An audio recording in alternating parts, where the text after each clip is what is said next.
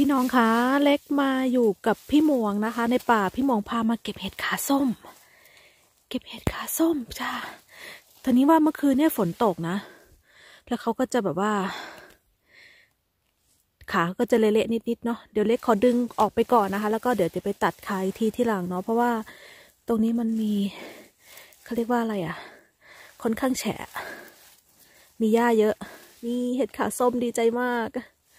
ดีใจมากเลยอะ่ะ นี่ขาส้มขาส้ม พี่หมงพาเดินมา ไกลมากเดินชุบชุบชุบชุบชุบชุบมาเลยอะ่ะ พี่หมงอะ่ะ จอดรถไว้ตรงนู้นแล้วก็พาเดินมาแบบนะคะเพราะว่าค่อนข้างที่จะอุ้ยเน่าหรือเปล่าเนี่ย อันนี้เน่าเนาะ เล็กขอถอนแบบนี้ก่อนเพราะว่า ตั้งกล้องไม่ได้เนาะ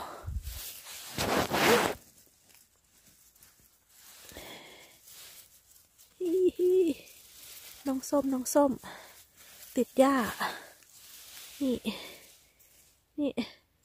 ขาส้มจ้าขาส้ม มีอีกไหมตรงนี้ไม่มีแล้ว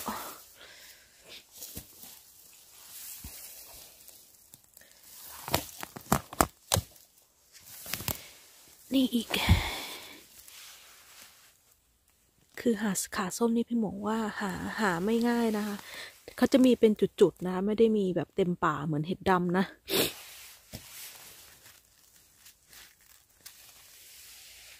อุ้ยทาก ตัวเบลเริ่มเลยอะ ดูทากค่ะพี่น้อง โอ้ย ปล่อยให้เขากินดีกว่า เพราะว่าอันนี้มันเหมือนมันจะเน่าเนาะทากตัวเบลเริ่ม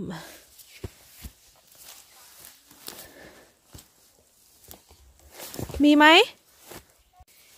นี่ก็มาเจอเห็ดดำอีก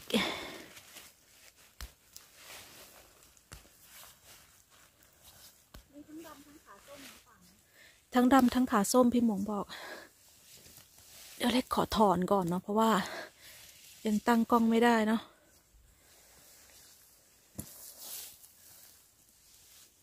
เอานี่อีก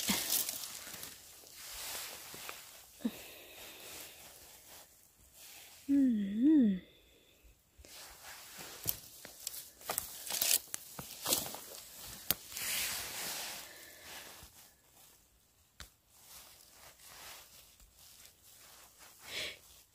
ที่เขาขึ้นกับมอสแบบนี้เขาไม่ค่อยเขาไม่ค่อยสกปรกเนาะพี่หมวงเนาะ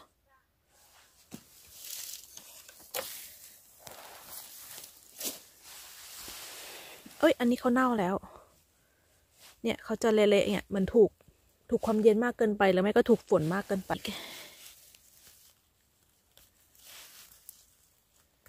นี่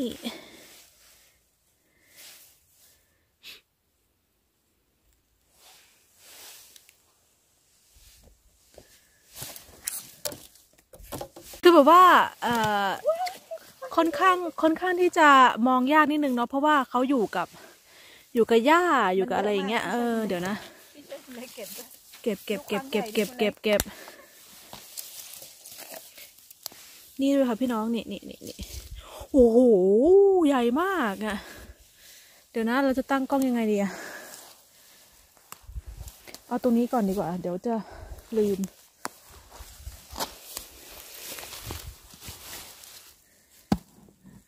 นี่เห็นดอกใหญ่ยัง เห็นแล้วแต่ว่าน้องจะไว้ที่หลังดอกใหญ่อะอ่าฮะของดีต้องไว้ที่หลังเนอะคือขานี่ดึงขึ้นมานี่ขาเขาก็สวยอยู่แล้วนะ เล็กดูนี่ว้าวใหญ่มาก สวยมากเลย ดูความใหญ่ของมันโอ้ยดูขาส้ม เดี๋ยวนะ เราแหมนี่นี่นี่นี่นี่นี่ขาส้มเป็น เป็นเอ่อเป็นครั้งแรกที่ที่เล็กได้มาเก็บขาส้มอย่างจริงจังมานี้นะ เพราะว่าที่เล็กเคยเจอเมื่อก่อนก็ไม่ได้ไม่ได้ไม่ได้เยอะขนาดนี้อะไม่ใช่ไซส์นี้อะเนาะไม่ใช่ไซส์นี้เลย อันนี้ใหญ่บึ้มใช่ไหมไซส์บึมบึมบึมเล็กชอบพูดไซส์ใหญ่บึ้ม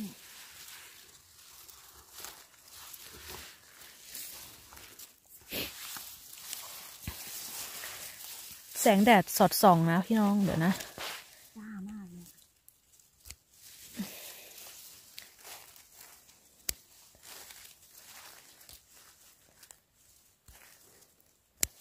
น อ้เดี๋ยวหนะบังแดดก่อน นี่นี่นี่นี่สวยมากอะ สวยจริง ๆ สวยสวยโอ้ยดีใจพี่หมวงอขอบคุณมาก ๆ ที่พาน้องมาเก็บนี่อยากให้คุณเล็กมาเห็นนี่แหละหน้าตาเนี่ยเก็บไว้รอวันคุณเล็กมาโดยเฉพาะ คือเขาถ้าเกิดว่าไม่สังเกตดีๆนี่เขามองไม่เห็นเลยนะ ไม่เห็นนะไม่เห็นสีเขากลมกลืนไปกับใบไม้อะอืมขาส้มเห็นพี่หมวงทำยำวันนั้นแล้วอุ้ยน่ากิน อร่อยมากตัวนี้ส้มอืมหอมใหญ่ใช้เดียวกับเห็ดเหลืองเลยนะเนี่ย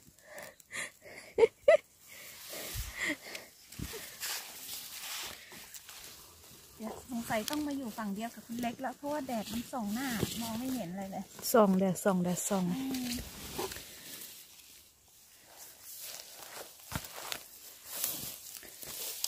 อุ้ยกลุ่มใหญ่กลุ่มนั้น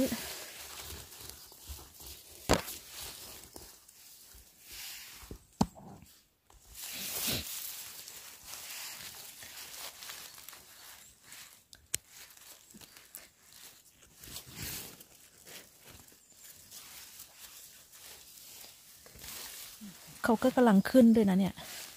กำลังขึ้นก็มีเนาะมีทุกสายพันธุ์อ่าน่ารักกระจุมกระจิม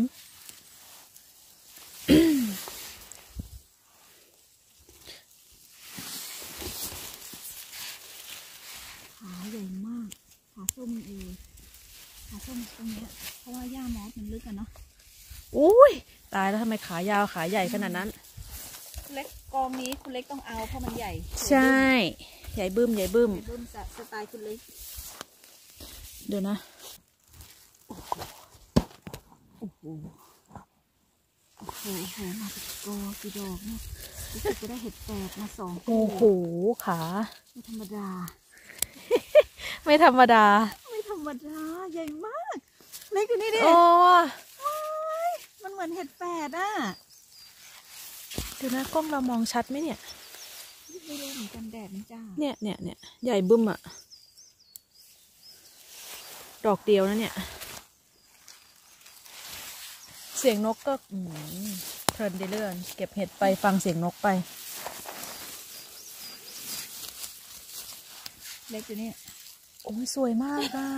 แต่ละดอก โอ้โห เต็มตะกร้าแล้วพี่ม่วง เออ ไม่กี่ดอกเอง เดี๋ยวนะ น้องเราไปไม่เป็นเลยนี่บางทีเยอะจนไม่รู้จะเก็บดอกไหนก่อนเนาะใช่ คือน้องแบบไม่การตั้งกล้องการอะไรเงี้ยยังแบบไม่ค่อยถนัดเท่าไหร่เดี๋ยวนะดอกนี้มันเล็กหรือเปล่าเนี่ย ค่อยๆค่อยๆทำไปเน้น เน้นไม่ให้เห็ดแตกอืมใช่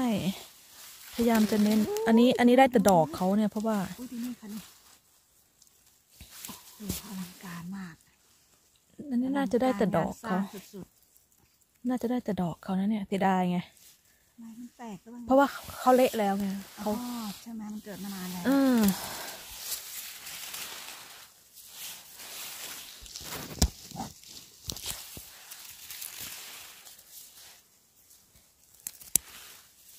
นี่ดอกหนึงสวยงาม อันนี้เขาเละเกินไปแล้ว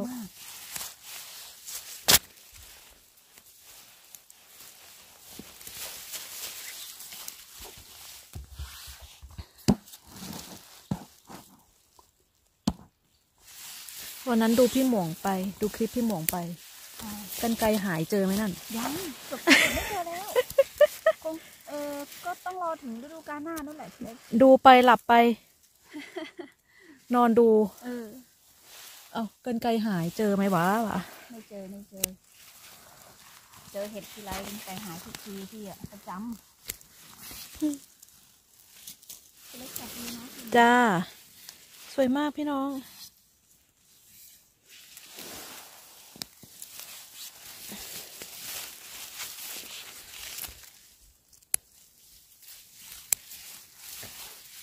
ดอกเขาเละแล้วน่ะ ดอกเขาเละแล้วเราก็ไม่เอาเนาะเขาเป็นอาจจะเป็นแบบขาส้มรุ่นแรกๆอะ่ะ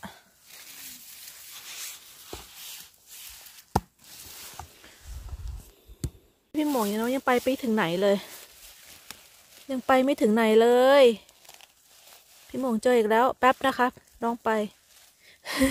พี่น้องขาเลยขอเก็บแบบนี้นะไม่ค่อยถนัดเลยอะ ตั้งกล้องแล้วแบบต่ขาเขาก็แบบว่าสะอาดดีอยู่นะ นี่เล็กพยายามจะเก็บแบบช้าๆนะเก็บแบบระวังระวังอะ ไม่ให้เห็ดเขาช้ำอะ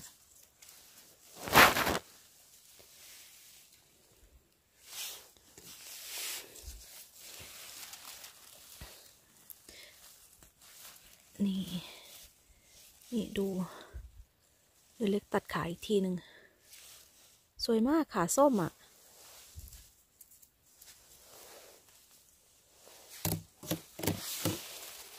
นี่ดอกนึงนะเดี๋ยวนะ ขอใส่ถุงมือดีกว่ามั้งเนี่ย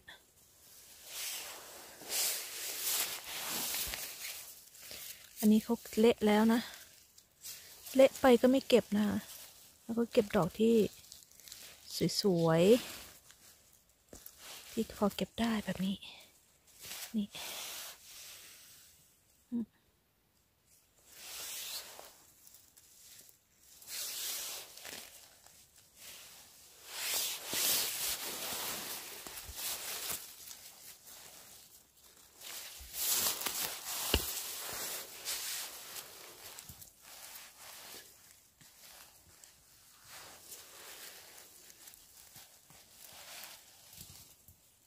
วยมาก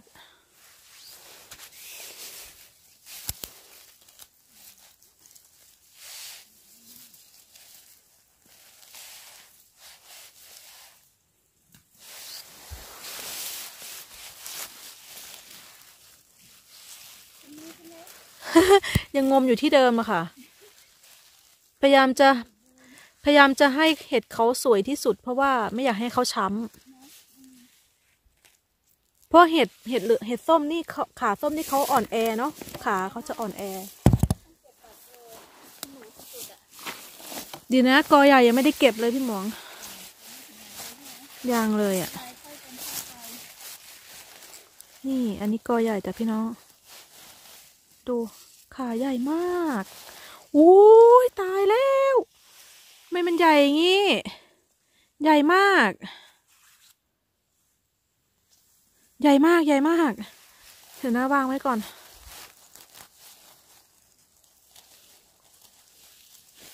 นี่ดูดูความใหญ่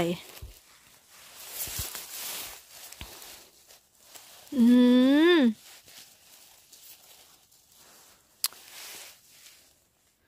ใหญ่มาก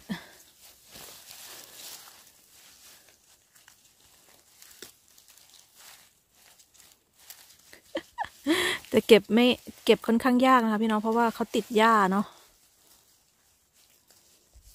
ขาใหญ่มากดูเว้ย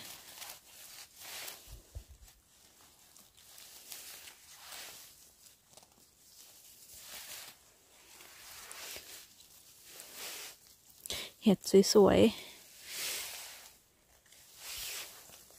นี่อีกดอกหนึ่ง ใหญ่มาก ใหญ่มาก วันนี้แดดดีค่ะพี่น้องแดดดี แดดดี เป็นโอกาสของเราได้มาเก็บเห็ดขาส้มวันนี้ นี่ สวยมากค่ะพี่น้องคะเดี๋ยวนะ นี่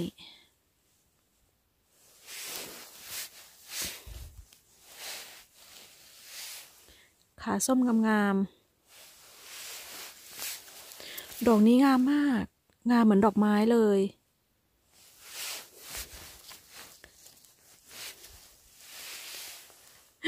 โอ้ตายตายตายตาย ดีใจดีใจ ดีใจมาก ๆ อันนี้เน่านะ เสร็จแล้วพี่หมวง กว่าจะเสร็จโอ้ยนี่ เล็กเจออีกนิดนึงเจอแล้วเจอเอง อันนี้เจอเอง นี่ค่ะพี่น้องค่ะเห็ดขาส้มเจออยู่กอนิดเดียวนิดหนึ่งพอได้ค่ะ พอได้ ขาส้มนี่ขาเขาจะอ่อนแอนะคะพี่น้อง เล็กจะค่อยค่อยๆดึงขึ้นมา จริงอะ เราตัดอันนี้ออกไปเลย นี่ดีใจได้เจออะนี่อีกดอกหนึ่งค่ะพี่น้องหนึ่งดอกหนึ่งขาสวยเห็นไหมขาสะอาด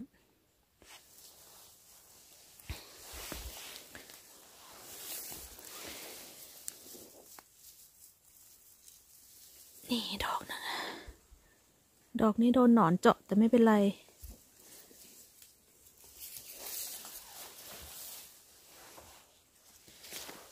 ปีที่แล้วมันเยอะมากเลยเนี่ย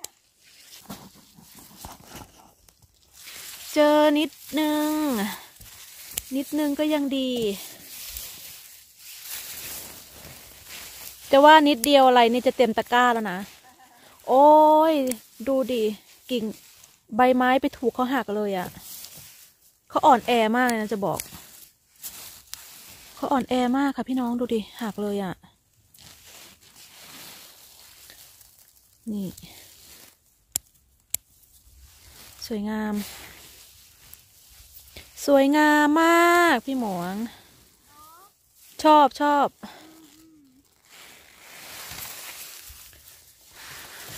เอ้ย นี่ดอกหนึ่ง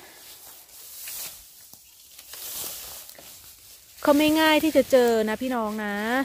ต้องค่อยๆ ดูทนุถนอมอย่างดีเลยเนี่ย นี่ดอกหนึ่ง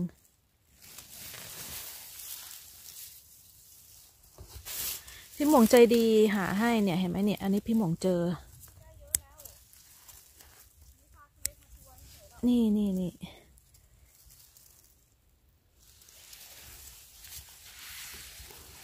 พามาทัวร์พามาทัวร์พามาทัวร์หาเห็ดเห็ดขาส้ม ขับรถออกมาค่อนข้างไกลเหมือนกันนะคะ จากบ้านพี่หมวง แต่ถิ่นพี่หมวงทั้งนั้น พี่หมวงว่านี่ป่าพี่นี่ก็ป่าพี่ มีแต่ป่าพี่หมวงเต็มไปหมด แสดแดดส่อง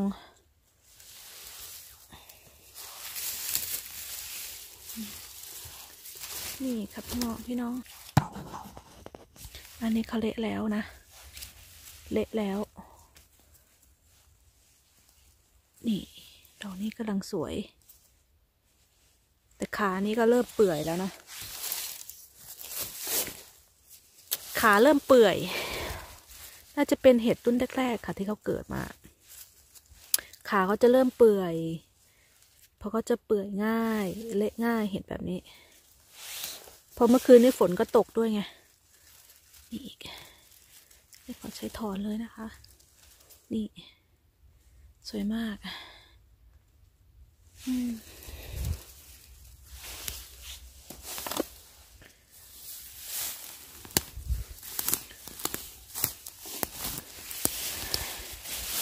นี่ค่ะนี่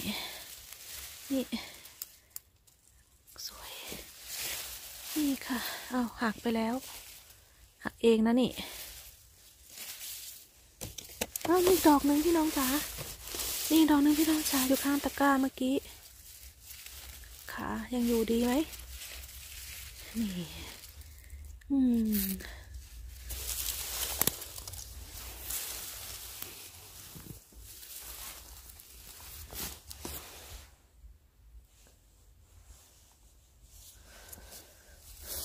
ไหนอะ พี่โมบอกว่าตรงนี้อะหาไม่เจอ ดูสิดอกนี้สวยมาก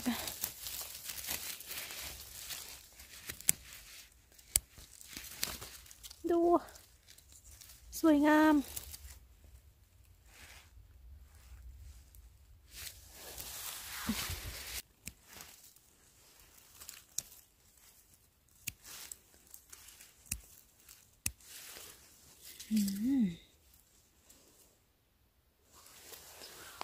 ดี๋ยวนะคะพี่น้องเพราะว่าตั้งกล้องไม่ได้ตรงนี้เนาะขอถอนนะคะ นี่ ถอนบ้างตัดบ้างเนาะพี่น้องเนาะตรงไหนตั้งกล้องได้เล็กก็จะตัดนะคะ เพราะว่ามันจะช่วยประหยัดเวลาในการทำความสะอาดด้วย แล้วก็เห็ดก็จะสะอาดนะ นี่ ถ้าเกิดถอนได้ก็ถอนตัดได้ก็ตัด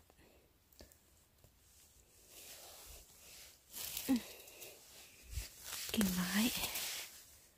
นี่ นี่ นี่นี่นี่นี่นี่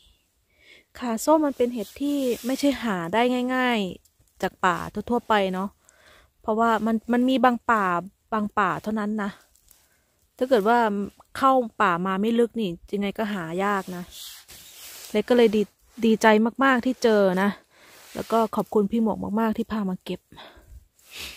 ที่พาน้องมาเก็บเห็ดวันนี้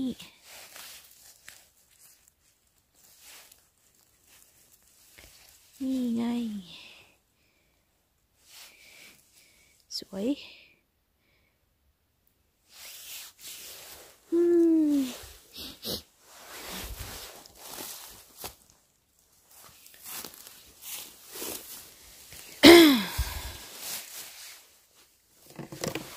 อันนี้เป็นเห็ดดำค่ะพี่น้องดูดิ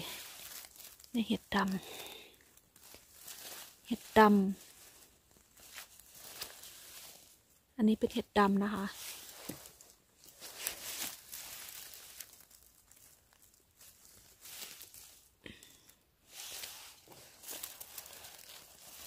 นี่เห็ดดำจ๋ายังอยู่ที่เดิมอยู่เลยค่ะ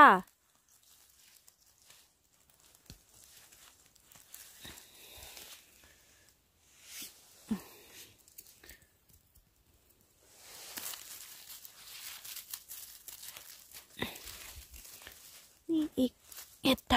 ำ เห็ ดำเปียกน้ำอะเอ้ย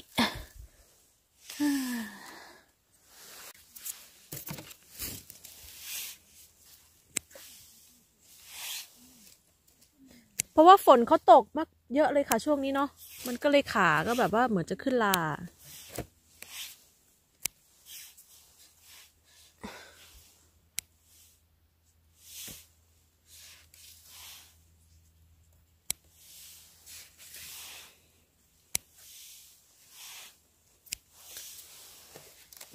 นี่อันนี้เป็นเห็ดดำค่ะพี่น้องเห็ดดำ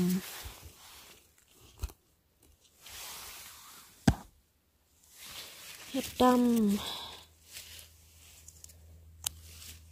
ขาเขาไม่ค่อยยาวนะ ขาเขาจะสั้นๆ เล็กใส่ถุงมือแล้วเพราะว่า เย็น เย็นมือ เนี่ยขาเขาไม่ค่อยยาวมาก ขาเขาจะสั้นๆแบบนี้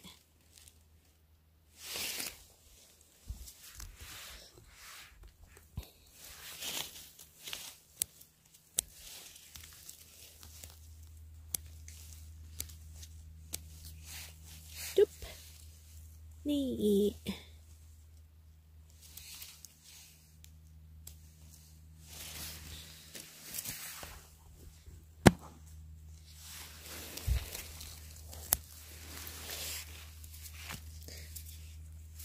ใช้ ได้นะคะ ไม่ขึ้นลานะ ใช้ได้อยู่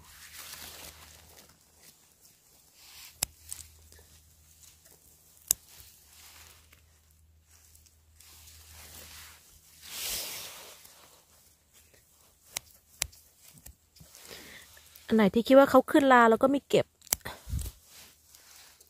ดอกใหญ่มาก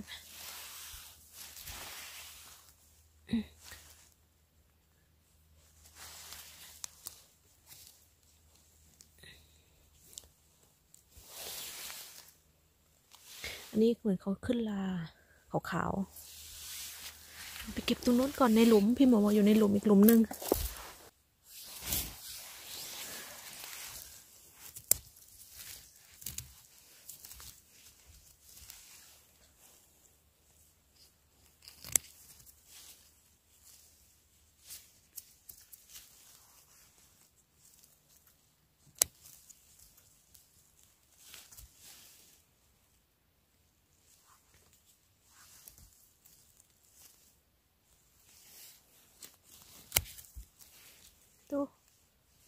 ช่อเลยอะ่ะ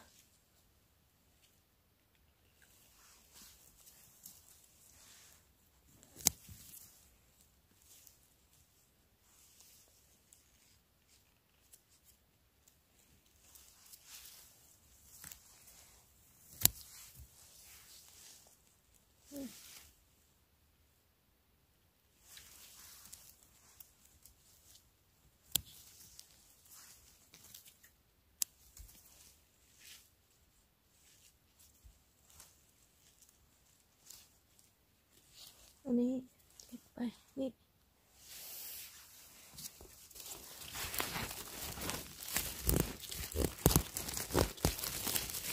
เสร็จตรงนี้เดี๋ยวเราเลาะเลาะเลาะลงไปเรื่อยๆอืมขอขึ้นใหญ่บึ้มใหญ่บึ้ม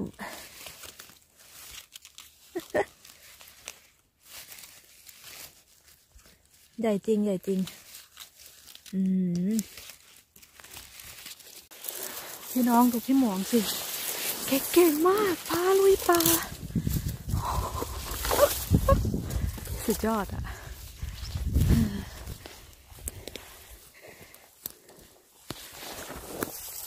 พี่หมูบอกดีใจมีเพื่อนพามาเก็บพี่มีเพื่อนมาเก็บเห็ดด้วย น้องก็ดีใจพี่หมูพามาเก็บเห็ด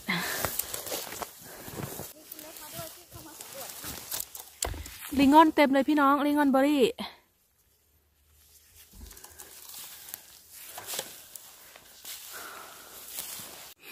ยังไม่เจอขาส้มนะเจอแต่เห็ดดำเจอเห็ดดำจ้ะพี่น้อง แล้วก็ต้องเก็บเห็ดดำก่อนเนาะเจอเห็ดอะไรก่อนแล้วก็เก็บเห็ดนั้นแหละ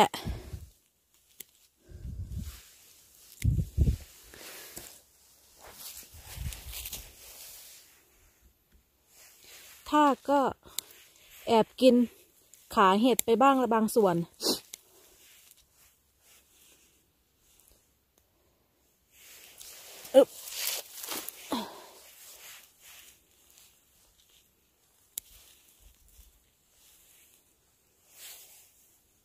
สวย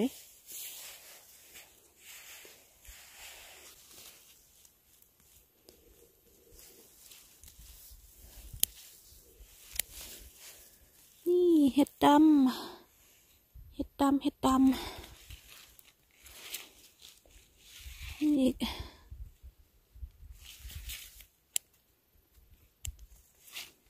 เขาอยู่กับมอสเขาก็ค่อนข้างสะอาดนะ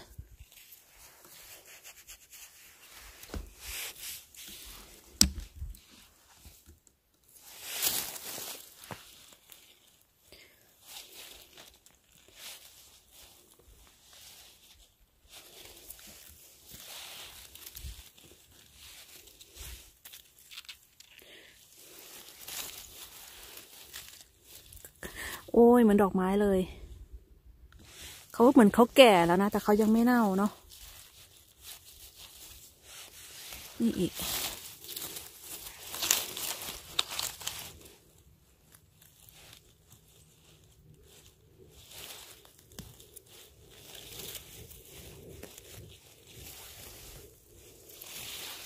นี่ค่ะพี่น้อง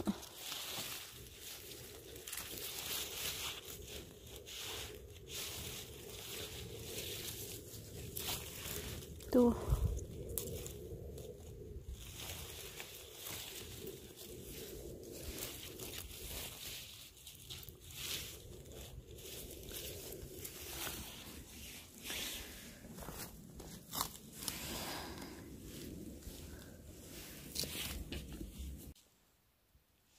นี่ค่ะพี่น้องเห็ดสวย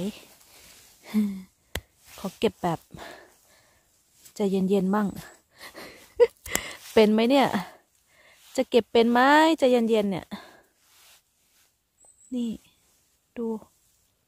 สวยมาก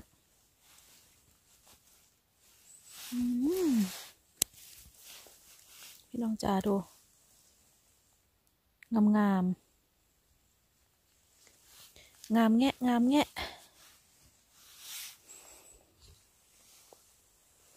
ลึบโอ้ยถูกแดด อันนี้เดี๋ยวขอบังแดดก่อน เกิดเขาแบบว่าแดดส่องแล้วเขาจะมองไม่ค่อยเห็นดอกเห็ดนะ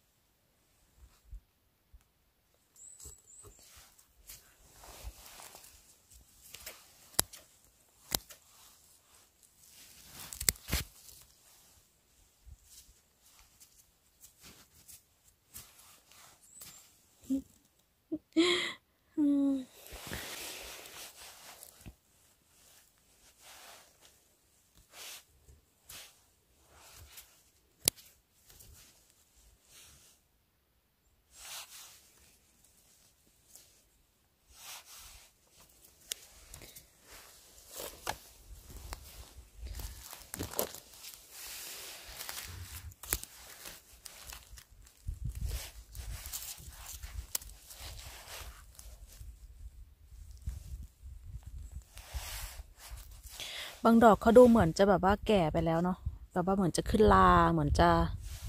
เน่าเราก็ไม่เอานะคะจ๋า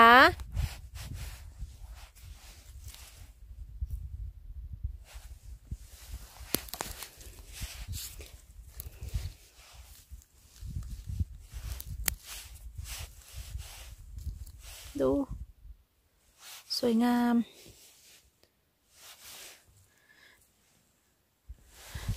ได้เยอะแล้วนะคะพี่น้องค่ะ เพราะว่าอุ้ยแมงมุมหมอเนี่ย แมงมุมแมงมุม แมงมุม ออกไป แมงมุม นี่ดอกหนึ่งช่อหนึ่ง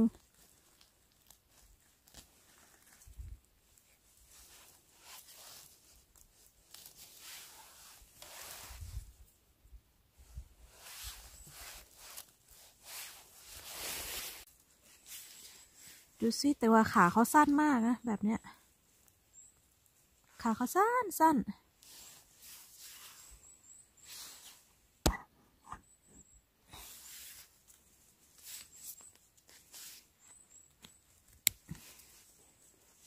ขาสั้นมาก แต่ดอกเขาสวย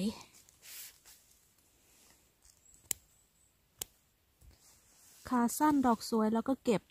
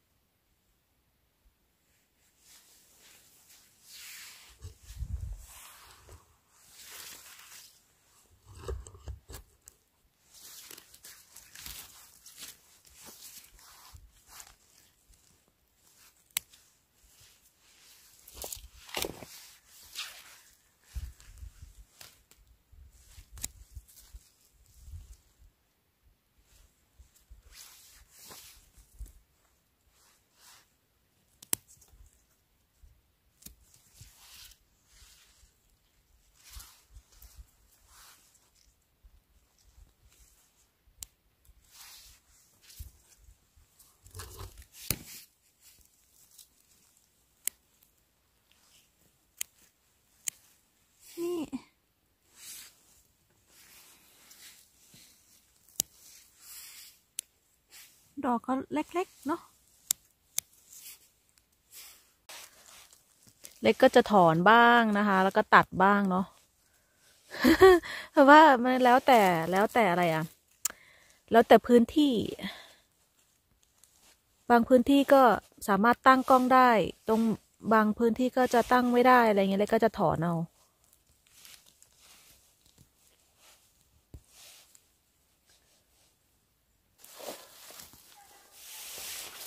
เจอ เจอดำเรื่อยๆเหมือนกัน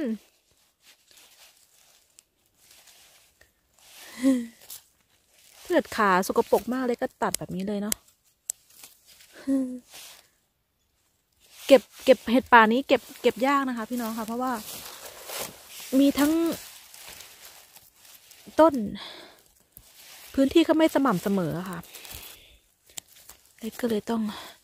ถอนบ้าง ตัดบ้าง ตั้งกล้องบ้างอะไรอย่างเงี้ยนะ ก็ เอาตามเล็กสะดวกนะคะอุ้ย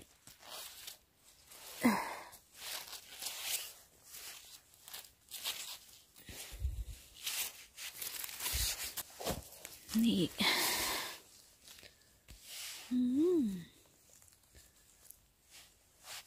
ก็ขึ้นอยู่กับมอสนะ เขาก็จะแบบสะอาด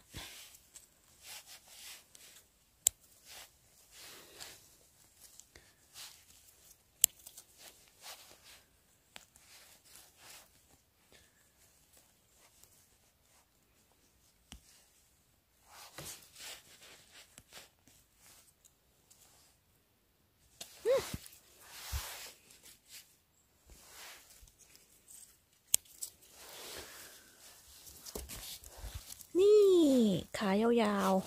ๆไม่ อยากเจอแบบนี้มาตั้งนานแล้วนี่ไงชอบมากเลยพี่น้องจ๋าเนี่ยแบบนี้เล็กชอบมากมากทั้งดอกทั้งขานะจะบอก นี่โอ้ยชอบอะ เดี๋ยวนะเรียกว่าเลยขอตัดเลยดีกว่า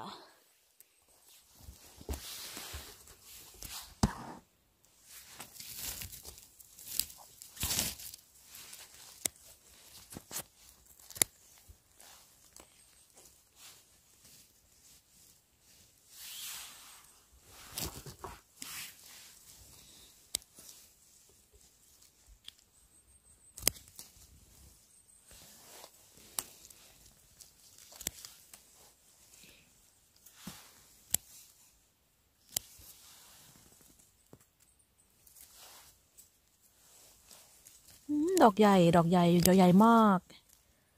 ใหญ่มาก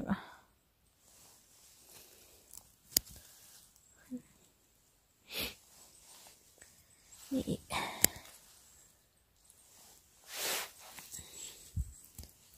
ดูช่อนี้ค่ะ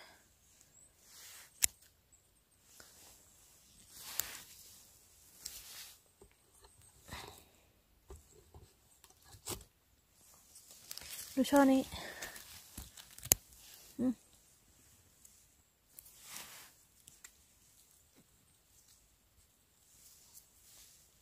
สวยงาม เต็มตะกร้าแล้วพี่น้องจ๋า อ้าว ตรงนี้อีกเดี๋ยวนะ นี่นี่นี่นี่นี่จ๋า เจอ พี่หมวงถามว่าเจอบ้างไหม เจอค่ะพี่หมวง เจอแบบกระจัดกระจายอย่างนี้แหละ แต่ก็โอเคนะ ก็พอได้เก็บ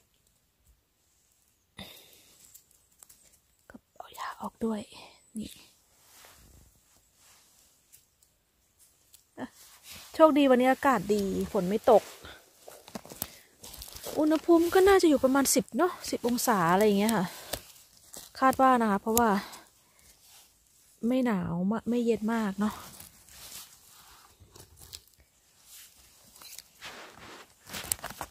นี่ นี่สวยสวย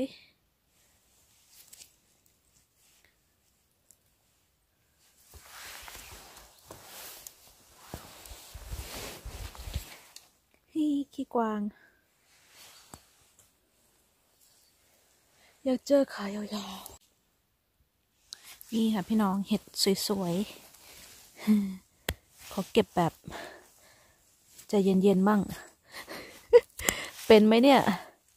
จะเก็บเป็นไหมจะเย็นๆเนี่ย นี่ ดู สวยมาก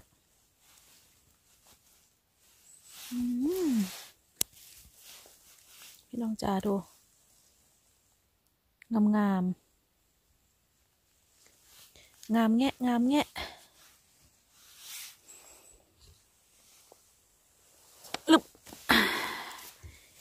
โอ้ยถูกแดด อันนี้เดี๋ยวขอบังแดดก่อน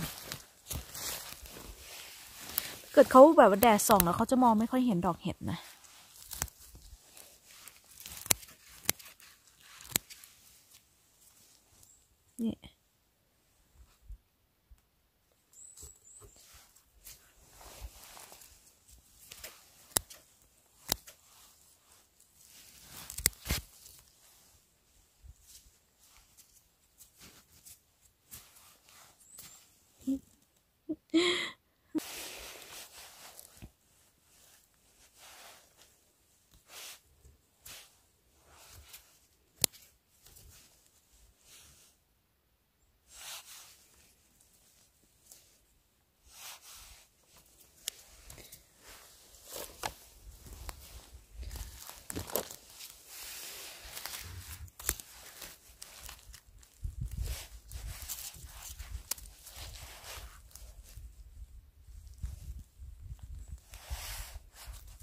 บางดอกเขาดูเหมือนจะแบบว่าแก่ไปแล้วเนาะแบบว่าเหมือนจะขึ้นลาเหมือนจะ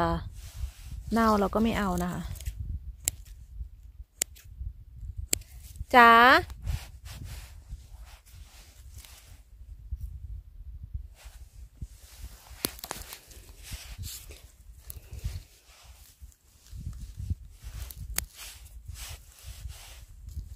ดู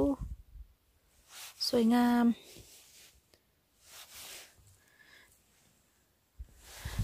ได้เยอะแล้วนะคะ พี่น้องค่ะ เพราะว่าอุ้ยแมงมุมเหรอเนี่ย แมงมุมแมงมุม แมงมุม ออกไป แมงมุม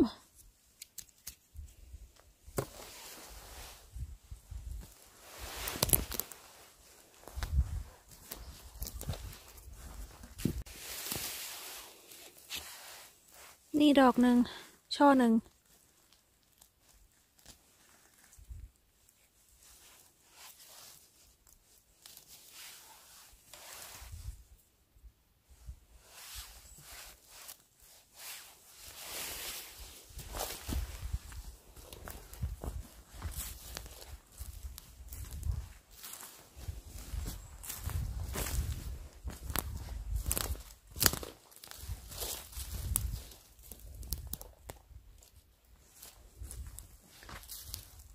อุ้ยตรงนี้ก็มี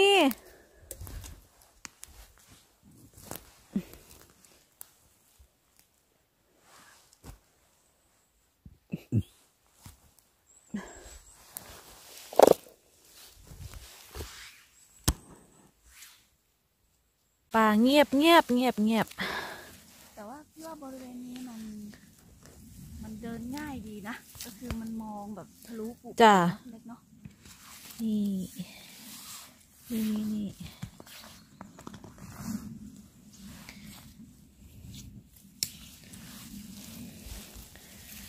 ขา ก็ยาวๆนะเนี่ย สวยนะเนี่ยเขาไม่ได้ขึ้นมาเป็นเป็นพุ่งเป็นอะไรแต่ว่ามันมีเรื่อยๆเนาะใช่ เราเดเดินไปก็ได้เก็บไปเรื่อยๆไง